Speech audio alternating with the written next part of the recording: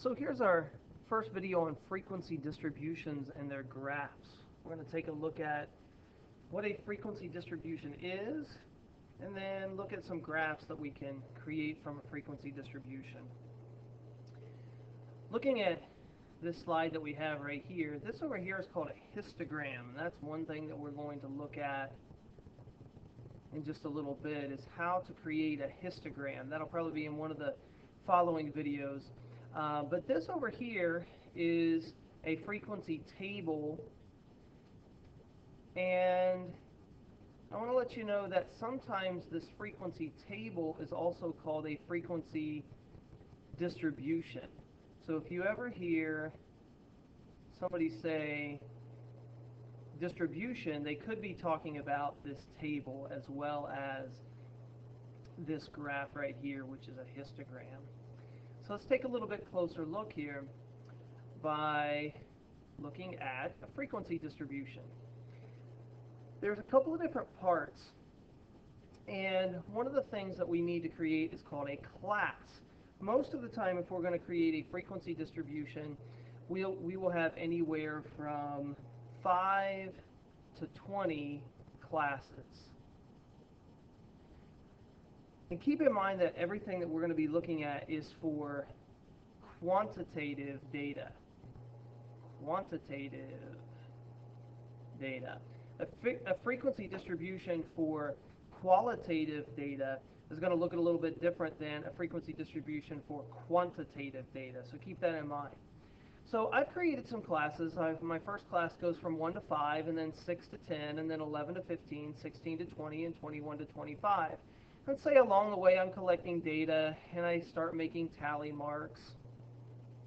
And it just so happens that this is how my distribution falls. So my frequency for uh, the number of times 1, my data, my data values from 1 to 5 show up as 2. The number of times the data values are from 6 to 10 is also 2. The number of times the data values are from 11 to 15 is 5. 16 to 20 shows up three times, and 21 to 25 shows up once. And that's how you can create a frequency distribution. Now, a couple of things to keep in mind. The classes all need to be the same size. Classes must be the same size. If our classes are different sizes, then that creates a, a, little bit of confusion and a little bit of deception. We don't want to deceive anybody with the graphs that we're making or the distributions that we're creating. So the classes need to be the same size and have the same width. We'll talk about that in a second.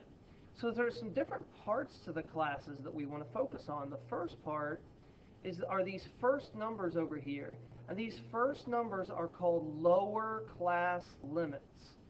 So the 1, the 1 here, the 6, the 11, the 16, the 21, those are called the lower class limits. And if those are the lower class limits, you can probably figure out what the other side is. The 5, the 10, the 15, the 20, and the 25, those are called the upper class limits. So we've got the lower class limits and the upper class limits.